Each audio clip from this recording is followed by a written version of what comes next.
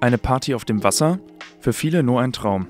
Doch mit der MS Günther wird genau das seit 2016 für alle Interessierten Wirklichkeit.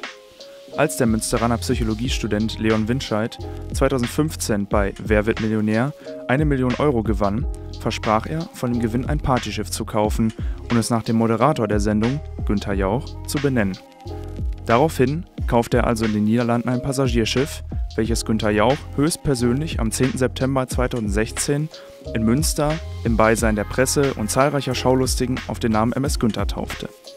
Seitdem kann das Schiff als schwimmende Event-Location für kulturelle oder kulinarische Veranstaltungen oder auch für private Feiern gemietet werden. Währenddessen sorgt leckeres Essen, gute Stimmung und ein fantastischer Blick auf das Wasser für das richtige Ambiente.